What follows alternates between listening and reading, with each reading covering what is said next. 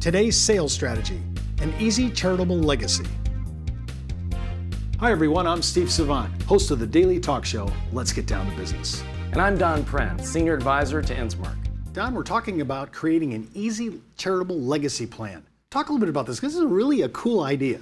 It is a great idea. And the reason this idea makes sense is because with interest rates so low, older people, people already in retirement, a lot of times have the choice of either taking risk to try to get better yields that they are not comfortable taking, or keeping the money in the bank at 1%.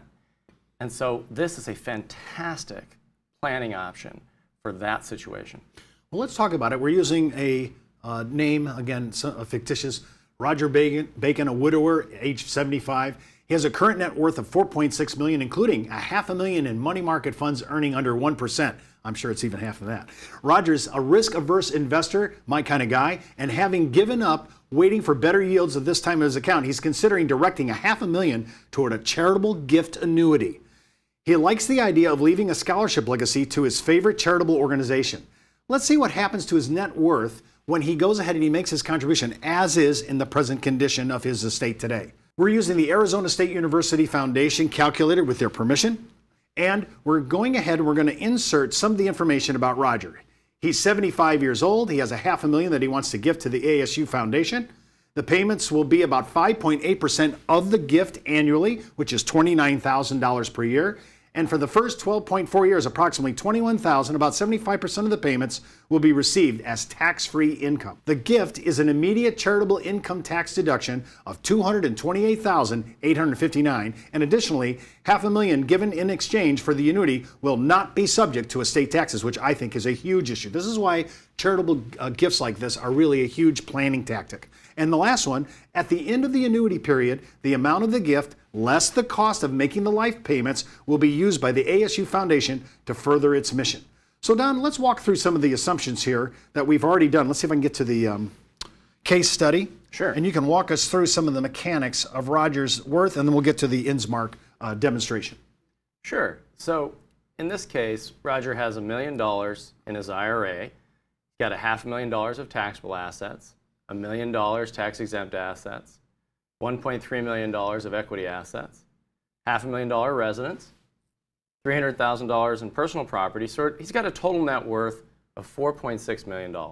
And so we used Insmark's Wealthy and Wise to compare his wealth accumulation over time uh, if he just stays with what he's currently doing or if he makes the gift to Arizona State.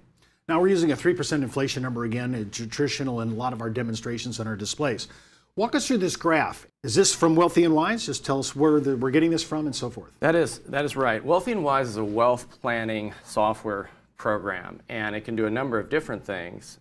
What you're seeing here is you have uh, 5.3 million in net worth uh, at, out at life expectancy. You're paying $227,000 in uh, taxes on his qualified plans, and then uh, you're transferring $5 million to his children in this case.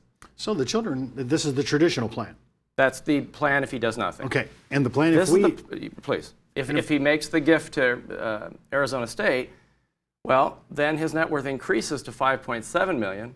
Transfer taxes are the same, and he still has $5.5 million going to his heirs. So by making the gift to Arizona State, which is $892,000 at his life expectancy, he not only increases his income, he also increases the amount of net worth going to his kids, and he gives almost a million dollars to his favorite charity. It's, it's absolutely incredible. We've created a legacy. His beneficiaries didn't get shorted, right? Everybody seems to be happy, and the foundation can move on with their mission. Yeah, exactly. And the reason this works is because people who are already in retirement, who are conservative investors, have all this money earning a half a percent a year. So by converting it to this type of structure, you can make the charity better off, the kids better off, and the client better off. It's absolutely amazing. This is an easy way to create a charitable legacy for your family and the next generation. Today's sales idea is brought to you by Ash Brokerage, the practice enhancement company and by Insmark, the most widely used software when it comes to strategies and presentations using cash value life insurance.